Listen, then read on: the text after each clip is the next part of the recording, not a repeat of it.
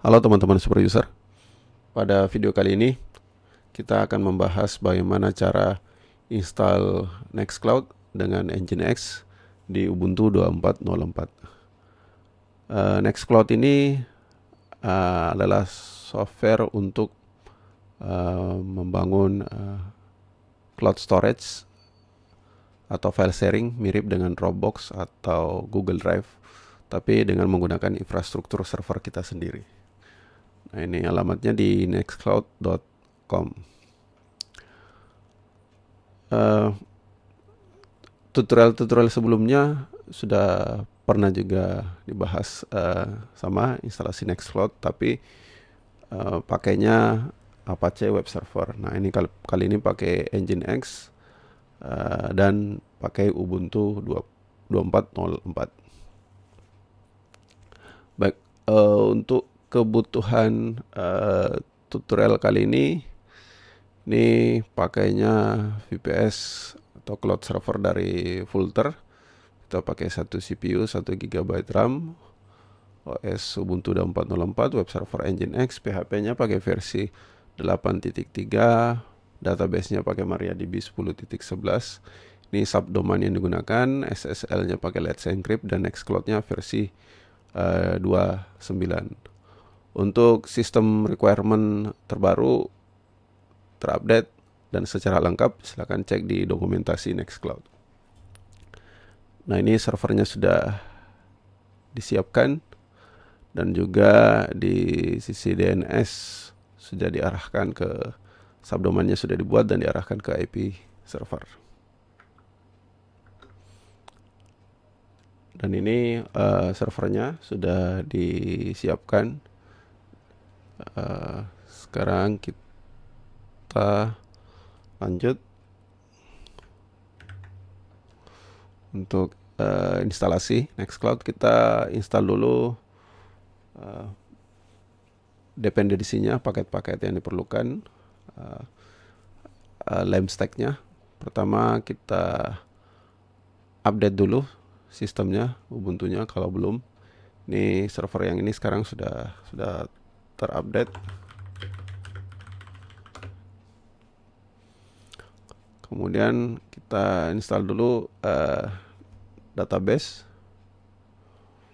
MariaDB server.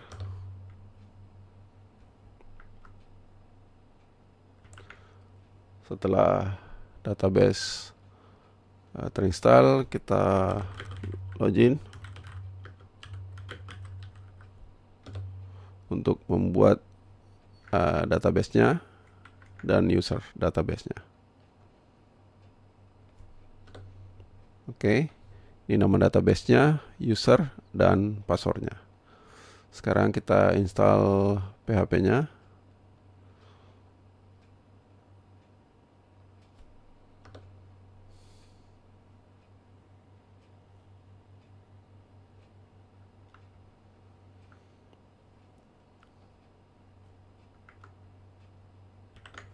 Setelah PHP terinstall, kita buka dulu konfigurasi uh, eh, PHP-nya. Kita naikkan memori limit untuk script PHP. Kita cari dulu memori uh, limit. Oke. Okay. Defaultnya 128, kita naikkan uh, 512. Ini yang direkomendasikan Eh, requirement dari Nextcloud.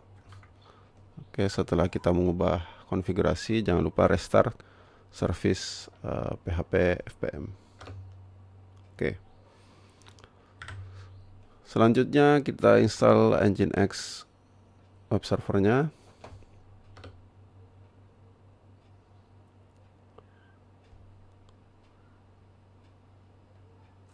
Oke.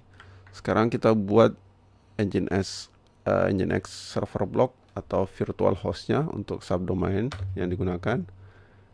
Uh, di sini konfigurasi awalnya kita masukkan saja seperti ini. Ini akan berjalan di port 80 dan ini subdomainnya. Nanti kita akan melakukan modifikasi uh, file konfigurasi ini. lalu kita aktifkan dengan membuat symbolic link ke directory sites uh, enable. Oke, lalu kita restart Nginx. Nah di uh, filter ini firewallnya aktif pakai UFW.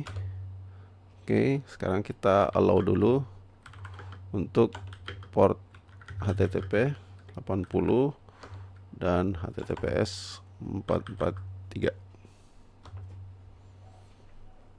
oke.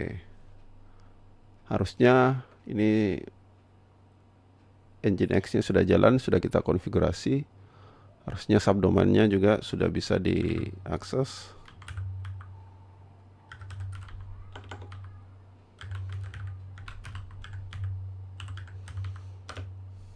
Oke Oke, ini masih seperti ini ya, karena tadi hanya mengkonfigurasi server name, jadi defaultnya akan menampilkan halaman default Nginx.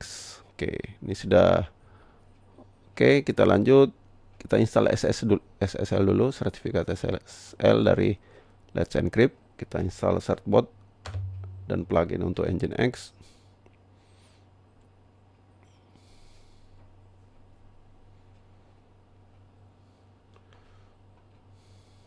Oke. Selanjutnya nah ini uh, komen untuk meminta SSL, request SSL untuk subdomain ini. Oke. Paste.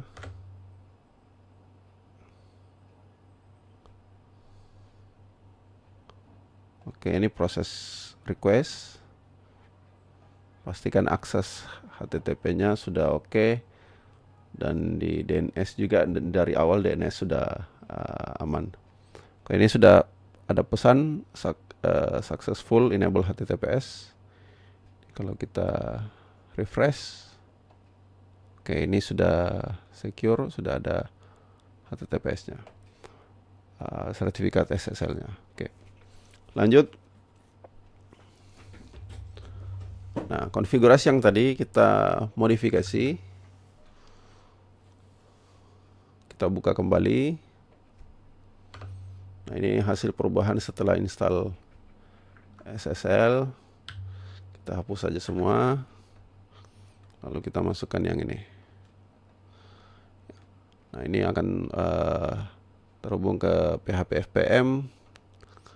Kemudian ini untuk settingan 443 dan ini konfigurasi-konfigurasi tambahan.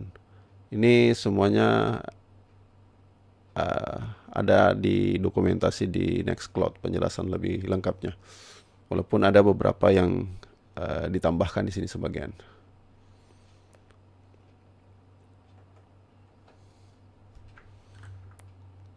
Oke, okay. karena sudah melakukan perubahan di Engine X, kita res restart lagi service Nginx-nya. Oke. Kita pastikan lagi. Oke, ini not found karena direktorinya itu belum disiapkan ya. Selanjutnya nah, kita download dulu uh, Nextcloud-nya.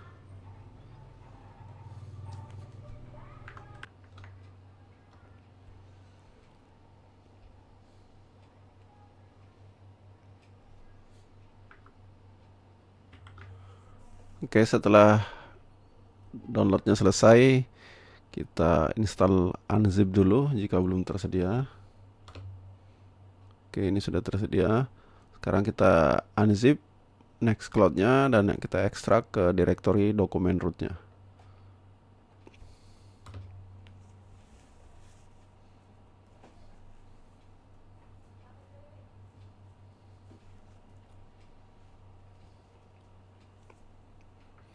Setelah ekstrak selesai, kita membuat direktori tambahan untuk penyimpanan data. Kemudian mengubah ownership ke uh, data yang merupakan user group untuk uh, Nginx di Ubuntu. Sekarang kita lanjut instalasinya di web browser. Ini kita refresh lagi. Oke. Kalau masih terjadi error berarti cek lagi konfigurasi Nginx-nya. Ini akun admin username-nya kemudian passwordnya lalu ini konfigurasi untuk uh, penyimpanan datanya tadi buatnya di sini. Kita copy saja yang ini. Oke. Lalu username database password database dan nama database oke kalau semua sudah oke kita klik install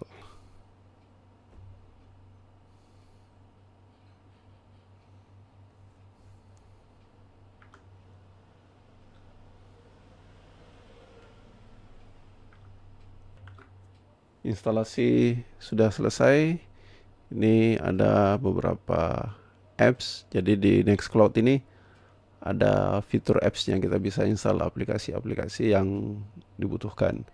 Aplikasi yang berjalan di atas uh, Nextcloud. Ini kita skip.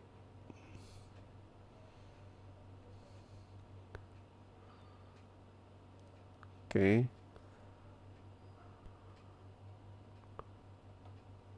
Nah, inilah uh, dashboard default untuk akun atau profil uh, admin ini.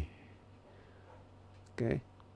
nah, untuk uh, pengelolaan nanti kita apa, untuk pengelolaannya ada di sini menunya untuk setting, user, nambah apps dan lain-lain.